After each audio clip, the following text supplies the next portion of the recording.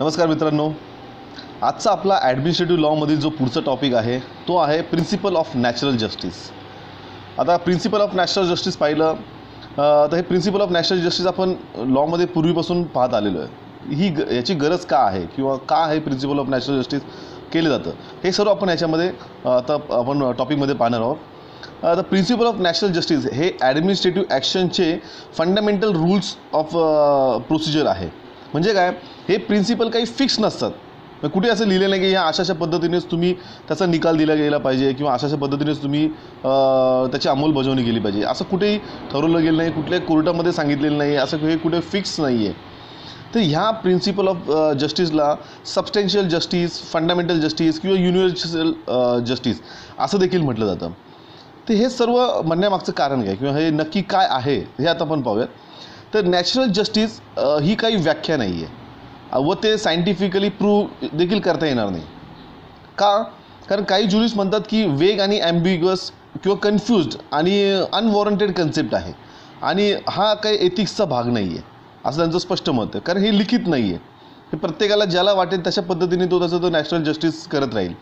म्हणजे तुम्हाला जे योग्य वाटेल तशानुसार तुम्ही ते त्याची अंमलबजावणी करणार. कुठले लिखित वगैरे हे काही फॉलो कर क- केलं जाणार नाही. हे स्पष्ट या नॅशनल जस्टिसमध्ये सांगितलेलं आहे. तर ही संकल्पना काही स्पष्ट नाही. त्यामुळे याची काही व्याख्या करता येणार नाही. तरीसुद्धा ही संकल्पना कायद्यानुसार मान्य केलेली आहे. त्याची हिस्ट्रीसुद्धा इम्प इम्प्रेसिव्ह आहे. ग्रीकमध्ये हे प्रिन्सिपल ॲक्सेप्ट केले की केले की कोणतीही व्यक्ती अनहर्ड राहिला नाही पाहिजे. म्हणजे कुठल्याही व्यक्तीला म्हणजे प्रत्येक व्यक्तीला त्याची बाजू मांडण्याचा पूर्ण अधिकार आहे आणि तो दिलाच पाहिजे. जर त्याला तो अधिकार त्याला त्याचा तो अधिकार जर काढून घेतला किंवा त्याला ती पुरेशी संधी जर उपलब्ध करून दिली नाही तर हे त्याच्या अगेन्स्ट होईल. त्याच्यामुळे प्रत्येक व्यक्तीला तो अधिकार देणं गरजेचं आहे. त्याच्यानंतर कौटिल्य जे आपण शास्त्र आहे तर ते आपल्या नॅचरल जस्टिसमध्ये सापडतं. नंतर जस्टिस वेड जे होते जस्टिस वेडने सांगितले की प्रत्येक प्रोसिडिंग्समध्ये प्रिन्सिपल ऑफ नॅशनल जस्टिसचा विचार केला केला जाणं आणि तो केला नसेल तो तो तर ती प्रोसिडिंग इनव्हॅलिड ठरते. म्हणजे काय की त्या व्यक्ती म- त्याच्यामध्ये त्या व्यक्तीची जी काही बाजू आहे ती त्यांनी मांडणं प्रत्येक मेरिटचा विचार करणं मेरिटचा विचार झाल्यानंतर दोन्ही ज्या व्यक्ती आहेत म्हणजे आपण उदाहरणार्थ पेटिशनर रिस्पॉन्डेंट असं जर विचार केला तर त्या दोघांनाही पुरेशी संधी देणं म- गरजेचं आहे. आणि ते सर्व दिल्यानंतरच मग काय तो योग्य निर्णय देता येईल. परंतु एका व्यक्तीचं ऐकणं आणि दुसऱ्या व्यक्तीचं ऐकायचंच नाही आहे किंवा त्या मेरिट्सवर विचारच करायचा नाही आहे असं जर ठरवलं तर ते काही प्रिन्सिपल ऑफ नॅशनल जस्टिस होणार नाही आहे त्यानंतर Maneka Gandhi versus union of India nineteen सेवन्टीच्या केसमध्ये सुप्रीम कोर्टने सांगितलं की जर एखाद्या स्टॅच्यूटमध्ये कोणतीही प्रोव्हिजन नसेल आणि रूल्स नसतील तरीसुद्धा प्रिन्सिपल ऑफ नॅचरल जस्टिसनुसार सर्व courts judicial bodies quasi judicial bodies यांच्यावर हे प्रिन्सिपल ऑफ नॅशनल जस्टिस बंधनकारक असणार आहे. ॲडमिनिस्ट्रेटिव्हला वर सुद्धा हे बंधनकारकच असणार आहे. म्हणजे तुम्ही प्रिन्सिपल ऑफ नॅशनल जस्टिसचा वापर जो आहे तो ॲडमिनिस्ट्रेटिव्हच्या प्रत्येक घटकामध्ये प्रत्येक स्टेजेसमध्ये केलंच पाहिजे. त्याच्याशिवाय ते योग्य ठरणार नाही जर नसेल तर. आता हे सर्व करत असताना याचे काही रूल्स आहेत. प्रिन्सिपल ऑफ जस्ट जस्टिसचे रूल्स आहेत. मग त्याच्यामध्ये फर्स्ट जो आहे तो रूल अगेन्स्ट बायस तर रूल अगेन्स्ट बायस म्हणजे काय? त्याचा जो फर्स्ट प्रिन्सिपल आहे ते आहे nemo debet esse judex in propria causa तर हे जे फर्स्ट प्रिन्सिपल आहे ह्या हे प्रिन्सिपल समजून घेण्यासाठी आपण त्याच्या दोन गोष्टी समजून घेऊयात. एक म्हणजे कोणताही व्यक्ती हा स्वतःच्या केसमध्ये किंवा हा जज म्हणून काम करणार नाही किंवा जज म्हणून राहणार नाही. त्याला स्वतःची जर केस असेल तर ती दुसरी कोणाकडे तरी ती वर्ग करावी लागेल.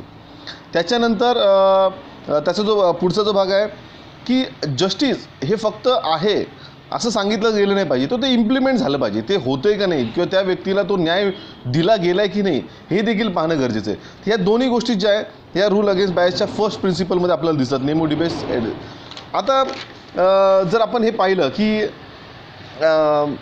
नक्की बायस म्हणजे काय?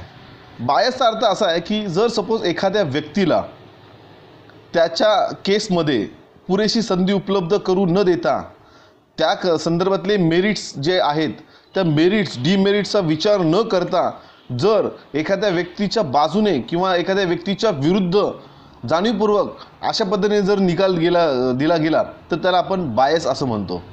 याचा अर्थ काय? की तुम्ही फक्त एकाच व्यक्तीचा एकाच गोष्टीचा विचार करूनच तुम्ही जे आहे ते निकाल निकाल आहे आणि समोरच्याला कुठलीही संधी देत नाही संधी उपलब्ध असतानाही तुम्ही जाणीवपूर्वक ती संधी त्याला दिली जात नाही आहे आणि मग त्याच्या त्याला संधी न दिल्या गेल्यामुळं त्याला त्याची बाजू मांडता येत नाही आणि मग तुम्ही त्याच्या विरुद्ध तो निकाल देत आहे तर हे जे विरुद्ध निकाल दिलं जातं म्हणजे पुरेशी संधी न दिल्यामुळे तर त्याला आपण बायस असं म्हणतो. तर हे जे बायस जे असतात तर ह्या बायसचे काही प्रकार आहेत. तर त्या त्याच्यामध्ये जो सर्वात पहिला प्रकार आहे तो म्हणजे पेक्युनियरी बायस पेक्युनियरी बायस म्हणजे काय? की जो डिसाइडिंग ऑथॉरिटी आहे किंवा जज आहे तर त्या जजला इम्पार्शल राहणं खूप गरजेचं आहे.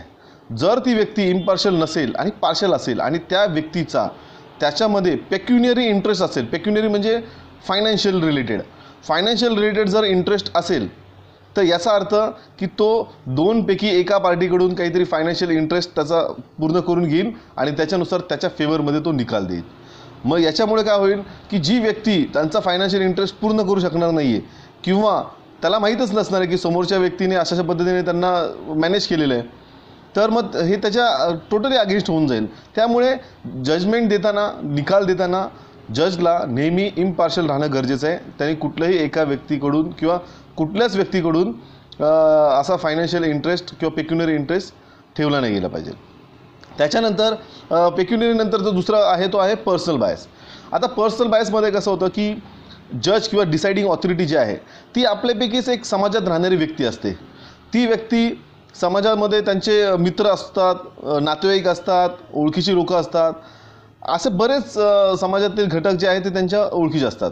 मग जर सपोज एखादी केस चालू आहे आणि त्या केसमध्ये त्या दोन पैकी त्या दोन पार्टीपैकी जर सपोज एखादी व्यक्ती त्याच्या जा जास्त क्लोज असेल जजच्या जवळचे असेल किंवा जज त्यांना पर्सनली ओळखत असतील त्यांचे नातेवाईक असू शकतात त्यांच्या घरातील व्यक्ती असू शकते त्यांचे मित्र मै- पैकी कोणीतरी असू शकते तर अशा वेळेस फक्त आणि फक्त ती व्यक्ती माझ्या क्लोजमध्ये आहे किंवा माझ्या फेवरमधली आहे किंवा मी त्यांच्या जास्त ओळखीचं आहे ते माझ्या जास्त ओळखीचे आहेत अशा पद्धती किंवा काहीतरी ओळख दाखवणारे हा या या ओळखीतून आलेले आहेत. म्हणून त्यांच्या फेवरमध्ये निकाल देणं हे काही योग्य राहणार नाही. ते न्यायदृष्टीच्या न्यायाच्या दृष्टिकोनातून ते अयोग्य ठरेल. म्हणून कुठल्याही जज जजला असे निकाल देताना पर्सनल बायस करता येणार नाही. याला आपण पर्सनल बायस असं म्हणतो.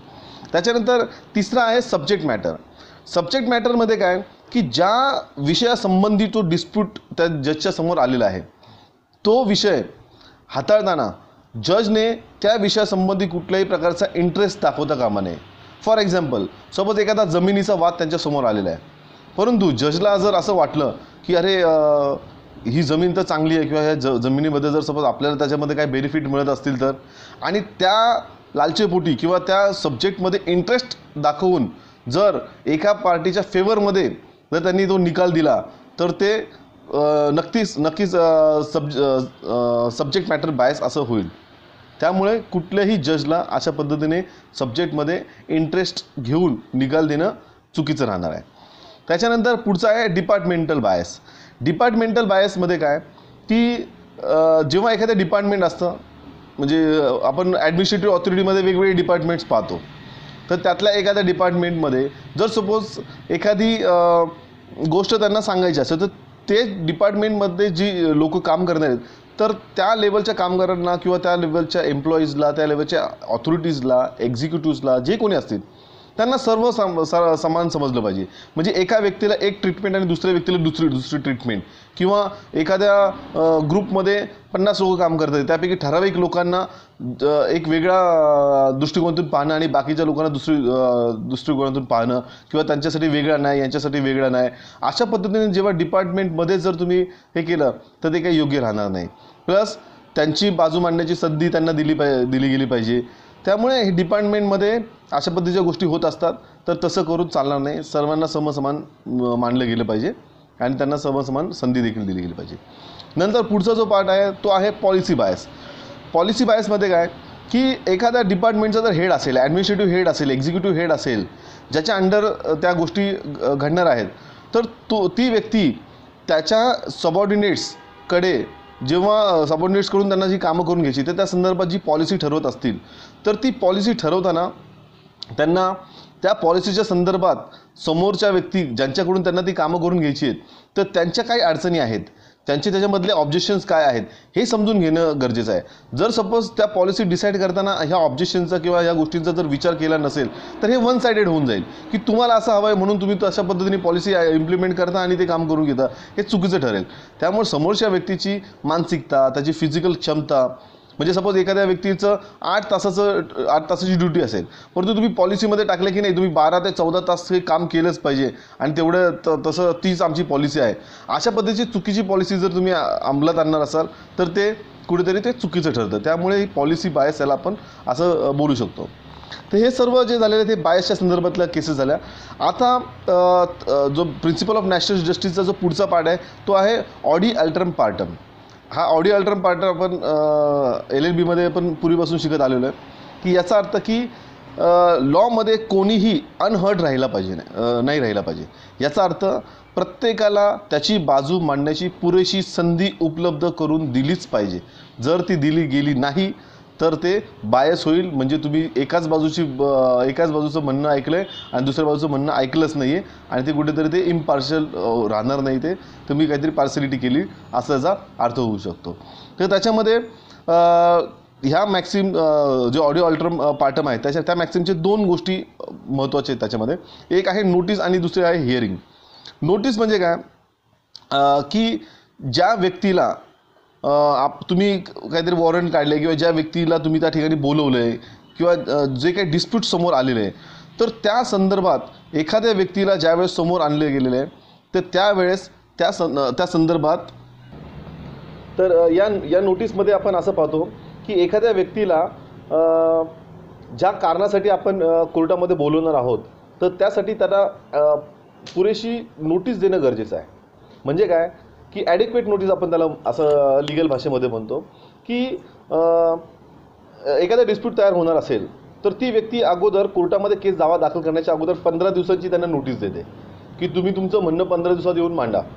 आणि जर ते पंधरा दिवसात नाही म्हटलं तर आम्ही कोर्टात जाऊ. अशा पद्धतीची आपण एक लिगल नोटीस त्यांना पाठवत असतो. तशाच पद्धतीने कोर्टामध्ये डिस्प्यूट जर उभं राहिलं असेल तिथे जर कोणी केस दाखल केली असेल तर कोर्टातर्फे त्यांना समन्स बजावलं जातं. आणि त्या समन्सची म्हणजे ती नोटीस त्यांना दिलं तर ही एक प्रोसेस आहे. सिव्हिल केसमध्ये आपण हे पाहतो. तर त्या त्या ठिकाणी त्यांना त्यांचं त- कळवणं गरजेचं असं की तुमच्या विरुद्ध केस या ठिकाणी दाखल झालेली आहे. आणि जर तशी त्यांना कळवलं गेलं नाही आणि तुम्ही इकडनं त्यांच्या विरुद्ध जर निकाल दिला तर ते चुकीचं ठरलं. त्यामुळे त्यांना ती नोटीस देणं गरजेचं आहे. त्याच्याचबरोबर ही नोटीस रिझनेबल देखील असणं गरजेचं आहे. म्हणजे फॉर एक्झाम्पल की जर सपोज त्यांना सांगितलं अशा पद्धतीची नोटीस दिली की तुम्ही सपोज मुंबईतर्फे एक नोटीस गेली पाठव पाठवली किंवा बॉम्बे हायकोर्टातर्फे किंवा पुणे डिस्ट्रिक्टतर्फे जर एखादी को केस जर केसच्या संदर्भात नोटीस पाठवली गेली आणि ती व्यक्ती राहणारी असेल कलकत्त्याला असेल दिल्लीला असेल. आणि त्यांना सांगितलं की तुम्ही उद्या सकाळपर्यंत या ठिकाणी तुम्ही कोर्टात हजर राहायचं आहे तर अशा पद्धतीचं अनरिजनेबल तुम्ही डिमांड करू शकत नाही किंवा अनरिजनेबल गोष्ट त्या नोटीसमध्ये टाकू शकत नाही. त्यामुळे ती एक रिजनेबल असली पाहिजे की येस बा तुम्ही इकडनं येणार आहात तर तुम्हाला पुढचे पाच दिवसाची वेळ घ्या दहा दिवसाची घ्या किंवा पंधरा दिवसाची घ्या किंवा एक पर्टिक्युलर डेट या तारखेपर्यंत तुम्ही त्या ठिकाणी हजर राहा. किंवा त्या संदर्भातले डॉक्युमेंट्स प्रोव्हाइड करा. अशा संदर्भातली ती रिजनेबल नोटीस असली पाहिजे. तर हा झाला नोटीसचा भाग. त्याच्या पुढचं जे आहे ते हिअरिंग हिअरिंग आपण पाहतो की ती जी व्यक्ती आहे त्याला त्याची बाजू मांडण्याचा पूर्ण अधिकार आहे. आणि ती बाजू मांडण्याचा अधिकार कोणीही हिरावून घेऊ शकत नाही. कायद्यामध्ये अशी तरतूद आहे की जी व्यक्ती ज्या व्यक्तीच्या अगेन्स्ट किंवा ज्या व्यक्तीच्या बाजूने त्या ठिकाणी केस दाखल केली गेली त्या दोन्ही व्यक्तींना त्यांची बाजू मांडण्याचा पूर्ण अधिकार दिल्या गेल्या पाहिजे. कोणीही व्यक्ती अनहर्ड राहिलं गेले नाही पाहिजे. तर हे त्याचं एक प्रिन्सिपल आहे. त्याच्यानंतर ह्या हिअरिंगमध्ये काही चार पाच गोष्टी आपल्याला महत्त्वाच्या आहेत त्या आपण समजून घेऊयात. त्यातली फर्स्ट जी केस आहे फर्स्ट जी गोष्ट आहे ती म्हणजे ओरल हिअरिंग ओरल हिअरिंग म्हणजे काय? की पार्टीला जेव्हा काही गोष्टी सांगायच्या असतात तर तेव्हा त्याची क्रॉस एक्झामिनेशन होऊ शकते किंवा ज्या काही गोष्टी त्याला विचारल्या जाऊ शकतात त्याची त्यांनी प्रॉपर उत्तर त्यानं देणं गरजेचं आहे.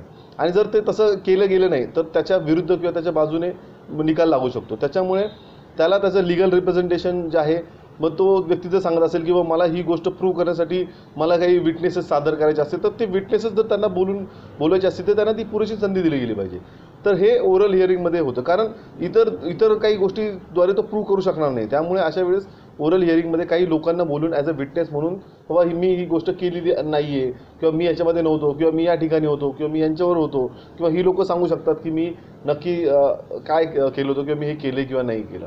तर अशा पद्धतीने काही विटनेसेसला तो बोलून ती गोष्ट प्रूव्ह करू शकतो. त्यामुळे ती ऑपॉर्च्युनिटी त्यांना देणं गरजेचं आहे. त्याच्यानंतर आहे फेअर हिअरिंग फेअर हिअरिंग म्हणजे काय? की जेव्हा ॲज्युकेटिंग ऑथॉरिटी त्यांना दिलेले सर्व जे काही मटेरियल डॉक्युमेंट्स आहेत ते सर्व त्या ठिकाणी प्रोड्यूस केलेले आहेत. प्रोड्यूस केल्यानंतर त्या डॉक्युमेंटची पडताळणी करणं पाहणं ते दिलेले डॉक्युमेंट्स योग्य आहे त्या काय बरोबर त्या गोष्टीसाठीच आहेत या सर्वांचा पुरेपूर वापर त्या केसमध्ये करणं गरजेचं आहे. कारण जर सपोज तसं झालं नाही म्हणजे एखाद्या गोष्ट एखाद्या व्यक्तीने त्याचे एव्हिडन्सेस सबमिट केलेले आहेत आणि त्या एव्हिडन्सचा जर विचारच केला गेला नाही तर ते फेर होणार नाही. म्हणजे याचा अर्थ तुम्ही अगोदरच ठरवून ठेवलेलं आहे की तुम्ही आमच्या विरुद्ध निकाल देणार आहात. हा त्याचा अर्थ होईल आणि त्यामुळे ते अयोग्य होईल. नंतर क्रॉस एक्झामिनेशन क्रॉस एक्झामिनेशनमध्ये जे विटनेसेस बोलवले गेलेले आहेत तर त्यांना प्रॉपर विचारण्याची संधी त्यांना दिली गेली पाहिजे. फॉर एक्झाम्पल की माझ्या विरुद्ध जर सपोज एखादी केस झाली असेल आणि माझ्या विरुद्ध बोलण्यासाठी समोरच्या पार्टीने आणखी काही विटनेसेस त्या ठिकाणी बोलवले गेले असतील तर ते जे विटनेस आहेत त्या विटनेसेसला क्रॉस करण्याची संधी मला उपलब्ध करून देणं गरजेचं आहे. म्हणजे मला त्यांना ते मला म्हणजे माझ्या वतीने कौन्सिल त्या ठिकाणी हे करेल विचारेल.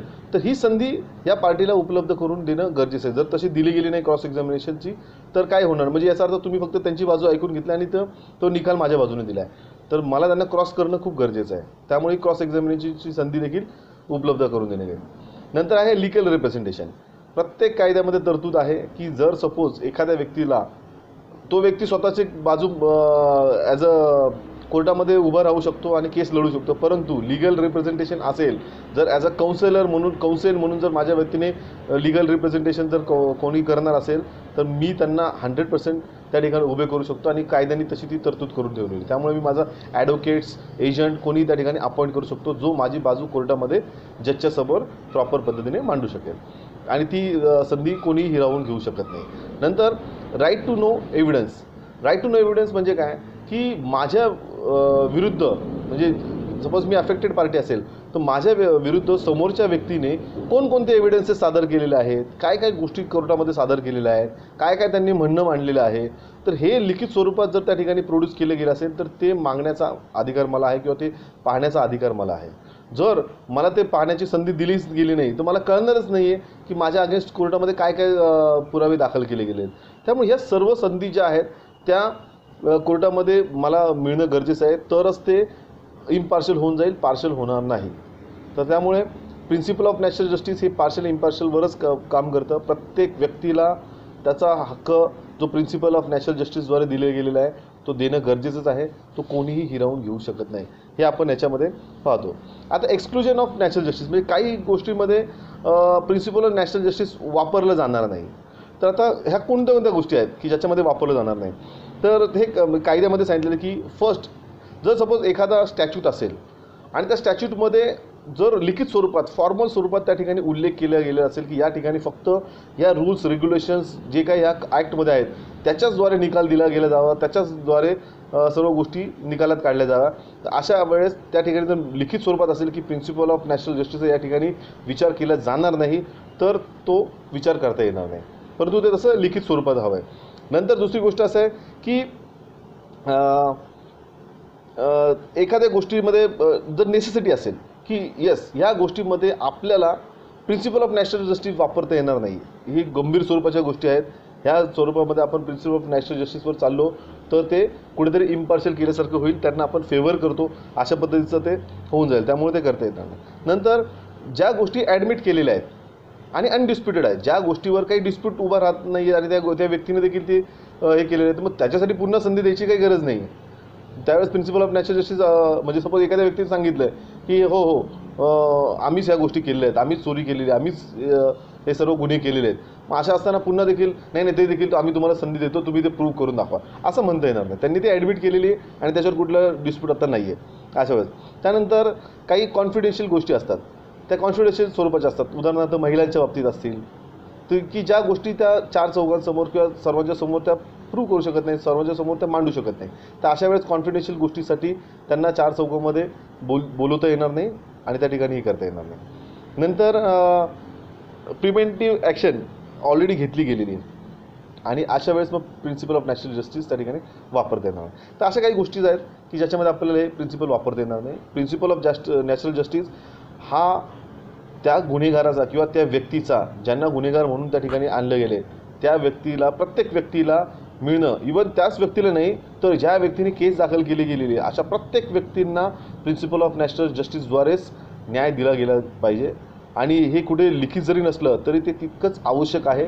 आणि जर ते आव जर तसं केलं गेलं नाही तर नक्कीच कायद्यावरून को- सर्वांचा विश्वास उडेल.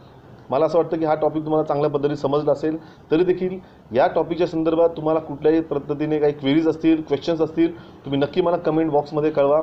मी तुमच्या त्या शंकांचं त्या क्वेश्चनचं निरासन करेल. आणि माझ्या चॅनलला तुम्ही लाईक करा. मराठीमध्ये आणखी व्हिडिओज मी घेऊन येत आहे. ॲडमिनिस्ट्रेटिव्ह लॉ आपला संपल्यानंतर आम्ही सी आर पी सीवर देखील व्हिडिओज तयार करत आहोत. ते देखील तुमच्या सेवेस लवकर येतील. आणि पुढे पुढे एक एक सब्जेक्ट आपण त्यानंतर कवर करणार आहोत. धन्यवाद.